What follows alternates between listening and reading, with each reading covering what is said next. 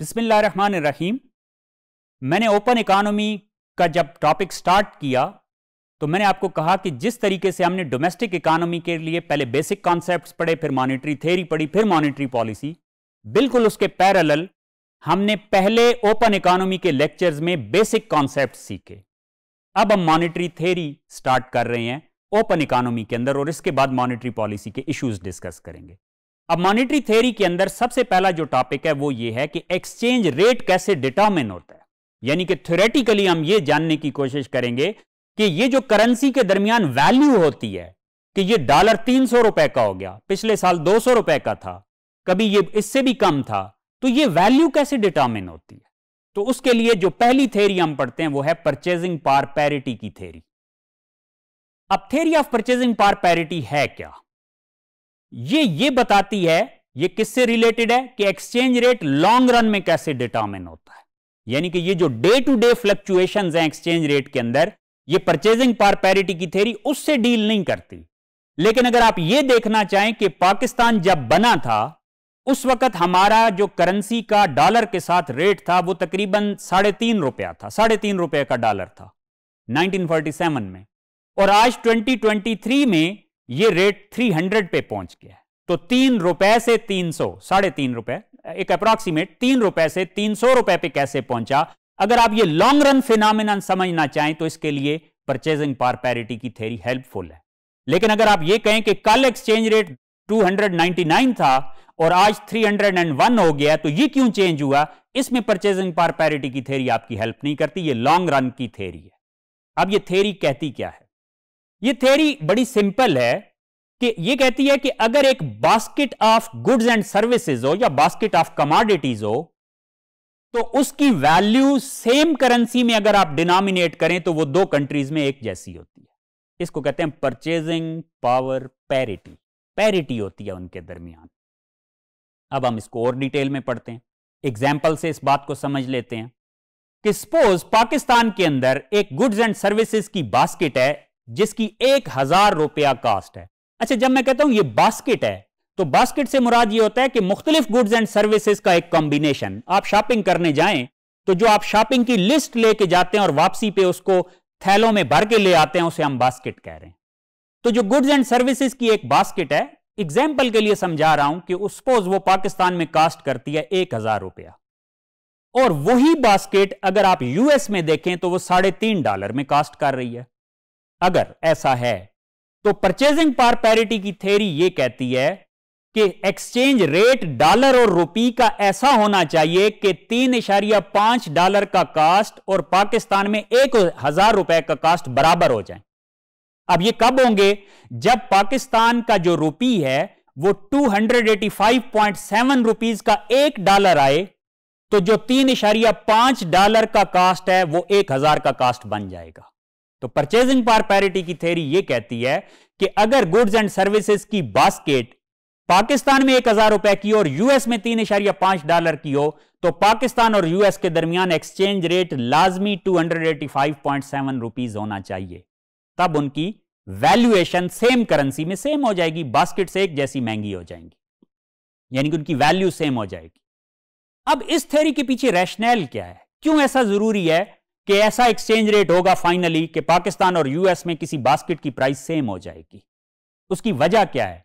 रैशनैल इसके पीछे है आर्बिट्राज अब आर्बिट्राज क्या होता है?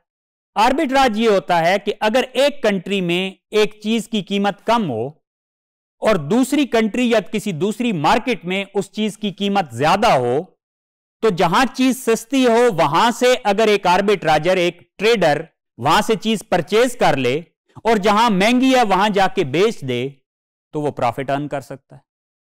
अब ये सस्ती चीज़ मार्केट से खरीदना और दूसरी मार्केट में जाके महँगी बेच देना, ये आर्बिट्राज कहलाता है।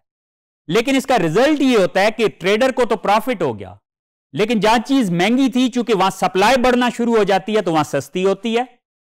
और जहाँ चीज़ ऑलरेडी सस्ती थी, वहाँ से चूँकि एक ट्रेडर खरीद रहा है तो वहाँ डिमांड बढ़ गई तो वहाँ महँगी होना शुरू हो जाएगी। तो इसका मतलब अल्टीमेटली जहाँ महँगी थी चीज़ सस्ती हो जाएगी थी, जहाँ सस्ती है वहाँ महँगी हो जाएगी और एक वक्त आएगा जब दोनों में प्राइसेस बराबर हो जाएँगी। लेकिन इसकी एक अजम्पन है पीछे कि इंटरनेशनल ट्रेड अगर हो रही है तो फिर हम ये अस्यूम करेंगे कि कोई ट्रेड बैरियर्स नहीं है। एक कंट्री से दूसरे कंट्री में चीज़ ले जाने पे कोई रिस्ट्रिक्शन नहीं है, न कोई टैरिफ है, न कोई इंपोर्ट ड्यूटी है, न कोई कोटा रिस्ट्रिक्शंस हैं, न कोई पाबंदी है। और साथ ही साथ हम कह रहे हैं ट्रांसपोर्टेशन कास्ट भी बड़ा निगलिजिबल हो और एक्सट्रीम केस में ज़ीरो हो। तो फिर ये आर्बिट्राज जो है, ये क्या करता है?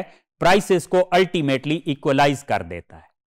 और जब दो कंट्रीज़ में प्राइसेस सेम हो जाएँ और एक्सचेंज रेट ऐसा हो जाए जो दो कंट्रीज़ के दरमियान प्राइसेस को सेम रखता है तो फिर नो आर्बिट्राज कंडीशन हम उसको कहते हैं। यानी कि अब कोई फर्दर ट्रेडर के लिए रूम नहीं बच गया कि वो एक मार्केट से चीज़ खरीदे और दूसरे में जाके बेच दे। तो ये रैशनैल है कि क्यों वैल्यू सेम हो जाती है बास्केट की दो कंट्रीज़ में आर्बिट्राज की वजह से।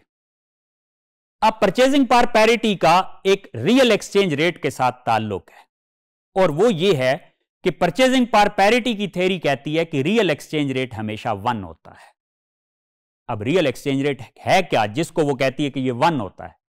तो रियल एक्सचेंज रेट की डेफिनेशन करें तो ये होता है the rate at which domestic goods can be exchange for foreign goods यानी कि करेंसीज की नहीं हम बात कर रहे कि करेंसी किस रेट पे कन्वर्ट होती है डोमेस्टिक और फॉरेन हम उनको गुड्स से लिंक कर रहे हैं कि domestic goods and services foreign and goods goods and services के साथ कैसे एक्सचेंज होती हैं, जिस रेट पे ये कन्वर्ट हो सकती हैं गुड्स एंड सर्विसेज़ वो रियल एक्सचेंज रेट कहलाता है। अगर आप उसका फार्मूला बनाना चाहें तो वो होगा domestic price divided by foreign price divided by exchange rate यानी कि ये जब फॉरेन प्राइस जो कि फॉरेन करेंसी में होगी, जब आप उसको एक्सचेंज रेट पे डिवाइड करेंगे तो वो लोकल करेंसी में कन्वर्ट हो जाएगी। तो इसका मतलब यह है कि सेम करेंसी में कन्वर्ट कर लें फॉरेन कंट्री की प्राइसेस और डोमेस्टिक कंट्री की प्राइसेस और उनकी रेशो ले लें तो ये रियल एक्सचेंज रेट बन जाएगा। एग्ज़ाम्पल ले लेते हैं। कि सपोज़ पाकिस्तान में एक basket of goods and services cost करती है पंद्रह सौ रुपया फिफ्टीन हंड्रेड रुपीज़ जबकि वही बास्केट चाइना के अंदर कास्ट कर रही है। तेरह सौ पचास रुपी।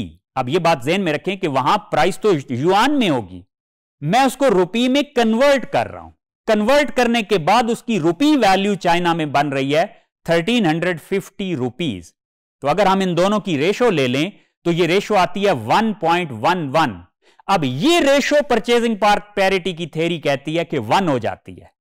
तो ये जो करंटली 1.11 है, ये हमें ये बता रहा है कि Pakistan is relatively a costly country whereas China is relatively a cheaper country यहाँ आर्बिट्राज कैसे होगा? ये अब डायरेक्शन ऑफ़ आर्बिट्राज डिटर्मिन कर रहा है। तो आर्बिट्राज क्या होगा? कि चूँकि सस्ता मुल्क चाइना है तो चाइना से गुड्स एंड सर्विसेज़ पाकिस्तान में आएँगी।